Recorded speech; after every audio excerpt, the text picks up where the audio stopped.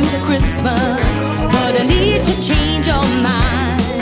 Cause I know I've been trouble. Od dwóch albo trzech lat mamy taką tradycję wewnątrz swojej rodziny, że zamiast y, prezentów y, i dzielenia się prezentami między sobą, przeznaczamy pewną kwotę, znajdujemy rodzinie i w ramach szlachetnej paczki kupujemy i, i wspieramy na święta.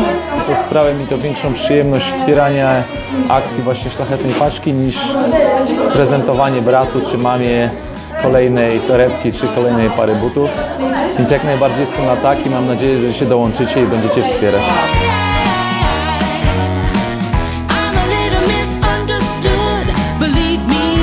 To bardzo szlachetne, że siatkarze Indyk Polo AZS-u Olsztyn e, angażują się w takie akcje pomimo nadmiaru obowiązków i ciężkich treningów.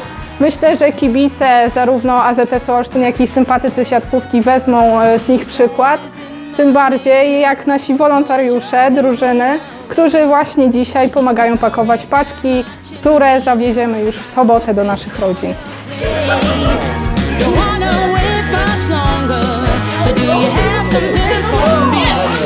Chęcią uczestniczę w takich akcjach jak właśnie Szlachetna Paczka, kontynuuję rodzinną tradycję, zarówno związaną z AZS-em Olsztyn i naszą siatkarską miłością, właśnie jak i z tym jakże szlachetnym celem. Yy, I mam nadzieję, że będę miała także swoich następców.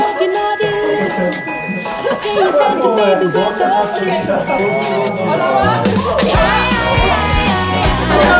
Here we are, guys. Uh, we are doing a social activity, very important uh, for the people we try to help, but it's a special, you know, thing we uh, we have as a culture of team. Uh, we're gonna try to have the community. That's something we really believe. I take the chance to hope uh, all the best for Christmas time. My best wishes for all the friends of Odin Sovo, and I hope you keep enjoying volleyball.